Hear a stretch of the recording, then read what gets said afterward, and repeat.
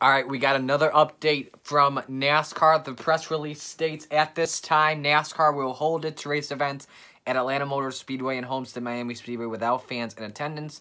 These events will be restricted to competitors, crews, officials, and other necessary personnel to conduct the race.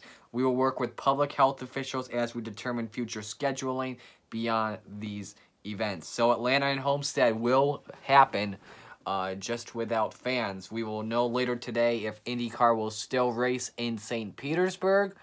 Um, but big story coming out of NASCAR. So the mainly right now, the only two professional sports that are staying uh, in session just without fans will be NASCAR and uh, the PGA Tour as they have the Players Championship this weekend.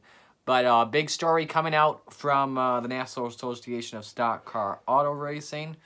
Um, so, uh, yeah. Um, any further updates as well, I will pass them on to you as soon as possible. And by the way, notice as well, NASCAR did not mention coronavirus or COVID-19 in the statement. Uh, so, yeah. Uh, that's the update right now. Uh, talk to you guys all later.